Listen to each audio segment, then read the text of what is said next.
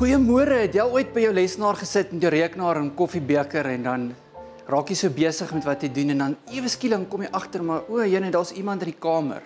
Jou kind het ingestap en by jou kom sit en jy het dit nie eers agtergekom nie.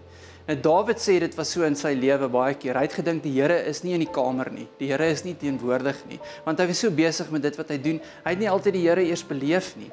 En dit gebeur baie keer met ons. Ons dink die Here is nie in die kamer nie, maar eintlik is hy want ons is nie bewus van sy teenwoordigheid nie. En toe sê Dawid, eintlik is die Here se teenwoordigheid so dat daar is nie 'n plek op hierdie aarde waarna jy kan gaan waar die Here nie teenwoordig is nie. Daar is nie 'n kamer waarin jy kan ingaan waar die Here nie is nie. So mag jy hierdie jaar bewus wees van die Here se teenwoordigheid en weet hy is altyd by jou.